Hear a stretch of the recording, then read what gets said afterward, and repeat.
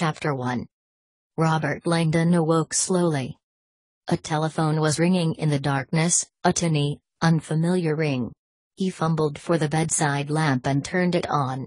Squinting at his surroundings, he saw a plush Renaissance bedroom with Louis XVI furniture, hand frescoed walls, and a colossal mahogany four poster bed. Where the hell am I? The jacquard bathrobe hanging on his bedpost bore the monogram, Hotel Ritz Paris. Slowly, the fog began to lift.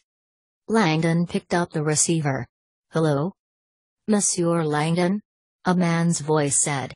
I hope I have not awoken you? Dazed, Langdon looked at the bedside clock. It was 12.32 a.m. He had been asleep only an hour, but he felt like the dead. This is the concierge, monsieur. I apologize for this intrusion, but you have a visitor. He insists it is urgent. Langdon still felt fuzzy. A visitor? His eyes focused now on a crumpled flyer on his bedside table the American University of Paris. Proudly presents An Evening with Robert Langdon Professor of Religious Symbology, Harvard University. Langdon groaned. Tonight's lecture, a slideshow about pagan symbolism hidden in the stones of Chartres Cathedral, had probably ruffled some conservative feathers in the audience. Most likely. Some religious scholar had trailed him home to pick a fight. I'm sorry, Langdon said, but I'm very tired and.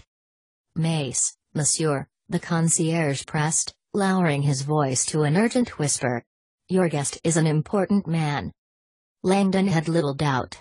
His books on religious paintings and cult symbology had made him a reluctant celebrity in the art world, and last year Langdon's visibility had increased a hundredfold after his involvement in a widely publicized incident at the Vatican.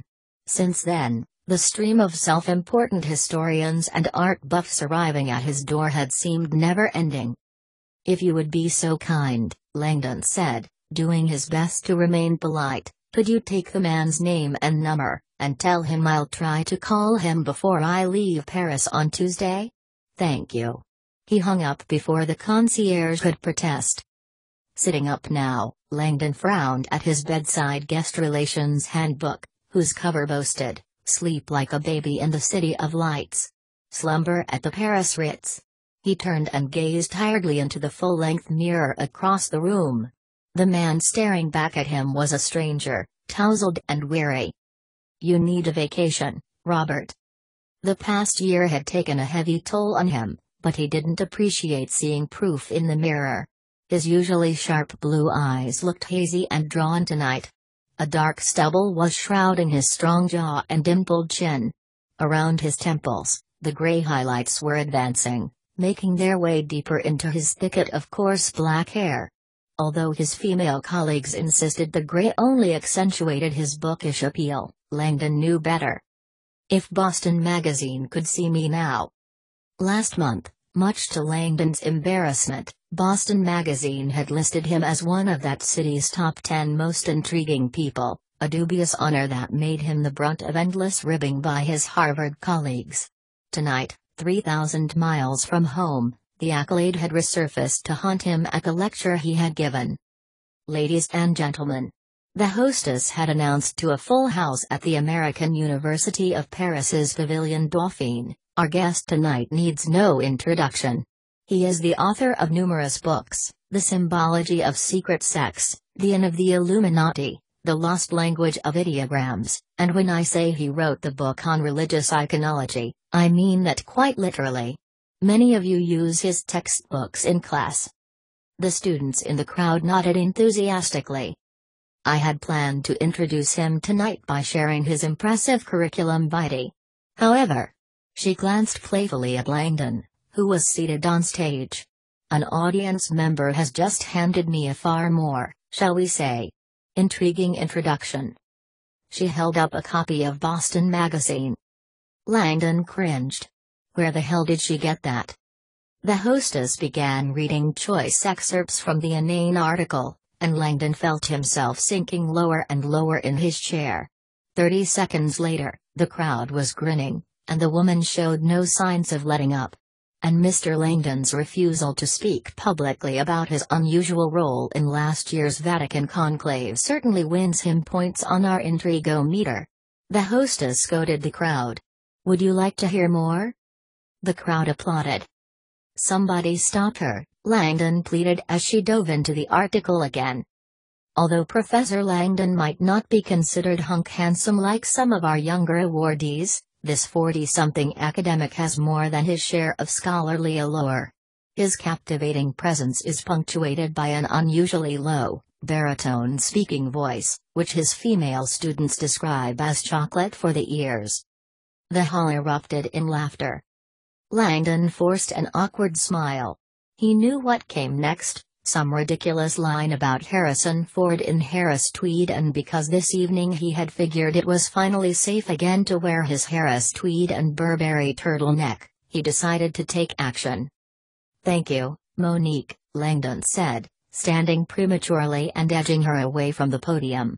Boston Magazine clearly has a gift for fiction. He turned to the audience with an embarrassed sigh. And if I find which one of you provided that article, I'll have the consulate deport you. The crowd laughed. Well, folks, as you all know, I am here tonight to talk about the power of symbols.